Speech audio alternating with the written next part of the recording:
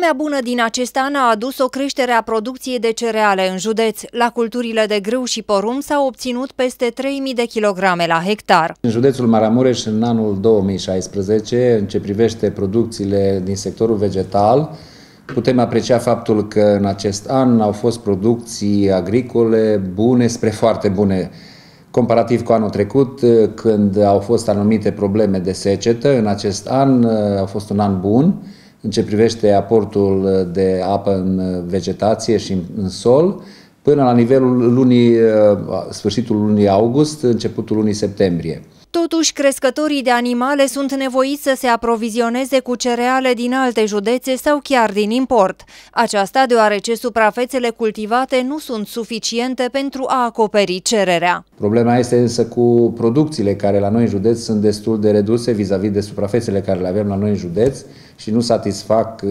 necesarul de cereale pentru creșterea animalelor de la noi din județ. De aceea fermierii noștri din județ se aprovizionează din județele limitrofe și chiar din afara țării. Și la cartofi, specialiștii Direcției pentru Agricultura a județului Maramureș estimează producții bune. Cu toate acestea, în piață prețurile sunt destul de mari, chiar și acum când este abundență de produse.